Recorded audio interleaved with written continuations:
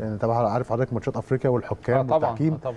فبالنسبة لنا إحنا كنا يعني يعني الناس اللي بتقول لك التحكيم واللي بيقف مع الناس ده, ده إحنا إحنا شفنا بلاوي في أفريقيا. يعني مرة كنا بنلعب فرقة اسمها أنيمبا كسبانين 1-0 والحكم كان كيم لي شونج.